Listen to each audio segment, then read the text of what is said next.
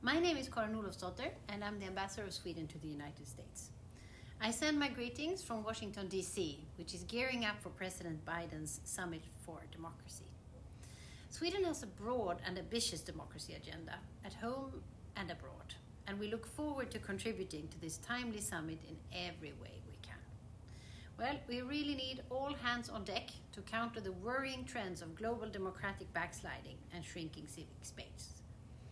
But this effort cannot be limited to nation states, which leads me to the tremendous group of non state actors gathered in the Global Democracy Coalition Forum, initiated by our close partner, International IDEA.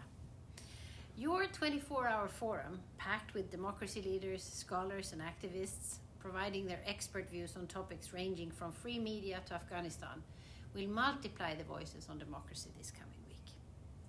And your contributions will provide new perspectives, help us gauge the temperature of global democracy, and let us learn from each other's achievements and mistakes so that we can collectively build a better tomorrow. And that, in the end, is what democracy is all about a plurality of voices, all contributing to an ever improved whole. Thank you so much for this important contribution.